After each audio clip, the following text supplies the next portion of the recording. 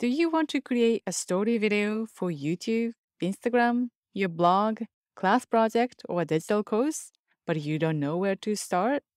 And do you want to create something simple, quick, and easy using familiar tools? If so, these three classes are for you.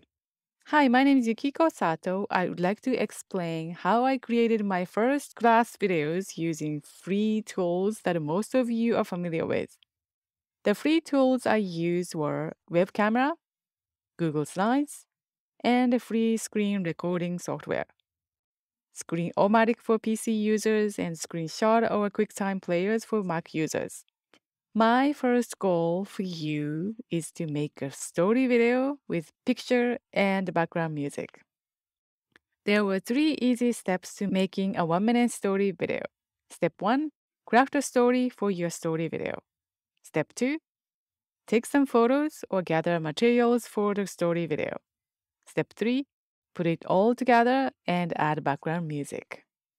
In a few hours, I made my first slideshow story video in 2008 without any video making skills. I did it, so you can too. Because I had a many requests to get go over the basics of how to make a slideshow story video, the great news is that I am hosting three story video making using Google Slides course for you. Three lessons are making a slideshow story video with background music.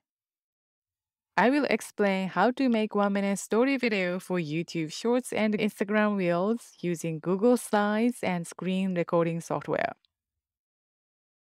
Making a slideshow story video with voiceover narration. I will demonstrate how to record voiceover narration using screen recording software making a slideshow story video with text for speech.